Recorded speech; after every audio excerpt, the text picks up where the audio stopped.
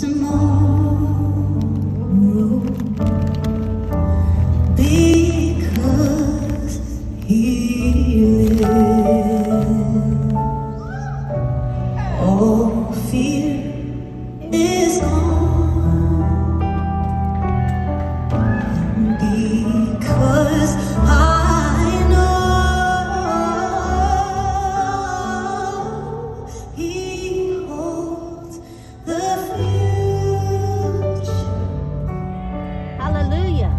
and life is worth living.